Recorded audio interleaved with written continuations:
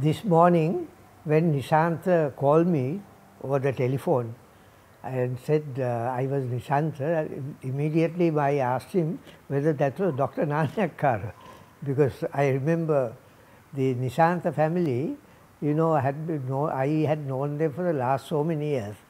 In the sense, his father was a principal of a school and all these three children were educated, they had their complete education at Richmond.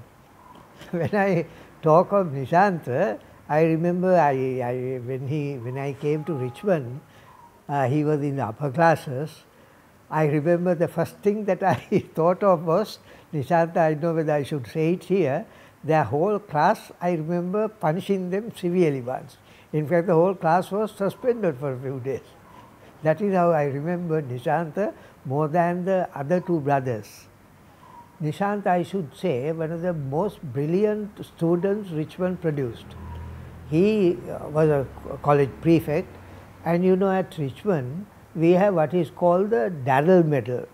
That is one of the most prestigious uh, awards at Richmond. Now, uh, it, it's awarded to the uh, leadership qualities as well as the academic excellence. And uh, I remember Nishant winning that prize. He, uh, his two other brothers are, I believe, uh, out of the island. They are both in, um, in uh, abroad. I don't know whether they are, they are coming back or not, but Nishant is stay put here. He was attached to the, after the, I must say about the advanced level results, he became the first in the southern province at the advanced level examination. He was, uh, he was uh, a bright student in the um, science stream, maths and physics, and later he joined the, after the degree, he joined the, he got a degree at the BSc at the Katubedda University, and thereover he joined the University of Katubedda.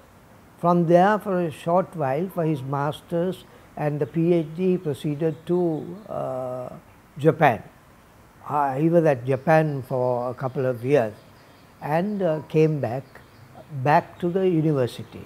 Of course, his brothers didn't come back, they stayed over there. As I said earlier, how I came to know them was their father was a principal of a school coming from a village called uh, Kalegana, very close to Richmond. And um, all three brothers, I should say, had a very, very successful career, school career in school. And because of the, because of the mischief and, and the act other activities that they were involved in school, I suppose that made them, uh, made them men of Sri Lanka. Uh, they are quite smart, competent in all uh, languages, Jap Japanese, Sinhala, English equally and uh, I believe all three uh, brothers are doing very well, two are out of the island, one uh, Nishanta in Sri Lanka.